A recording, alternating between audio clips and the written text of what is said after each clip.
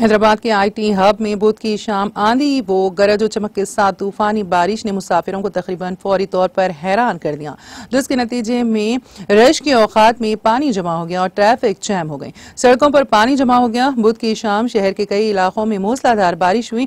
मौसम अचानक सर्द हो गया। गची बावली, माधवपुर, मियापुर, कोंडापुर, लिंगमपल्ली, कुकटपल्ली, एरागड्डा, पंजागुट्टा, खैरताबाद, लकड़ी का पुल, टैंक बंड, लिबर्टी, हिमायतनगर, बशीरबाग नामपली एबिट्स चंद्रायन गुट्टा फलकनुमा, वनस्थलीपुरम, बालापुर में बारिश हुई। हैदराबाद के मौसमियाती मरकज ने खबरदार किया है कि बुध को रियासत के कुछ दीगर अजला में गरज चमक के साथ हल्की से भारी बारिश होने का इम्कान है।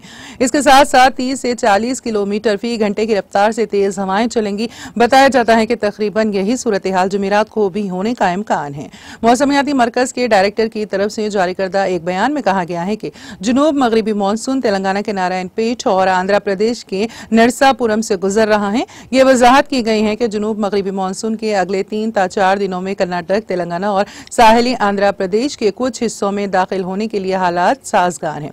एक सतह की गर्दिश जिसका मरकज जनूब मगरबी खलीज बंगाल के इलाके में है, उसे बुध की सुबह समंदर की सतह से तीन अशारिया एक से चार अशारिया पाँच किलोमीटर की ऊंचाई पर जनूबी आंध्र प्रदेश और इससे मुलहका इलाकों में मरकज के तौर पर बयान किया गया है।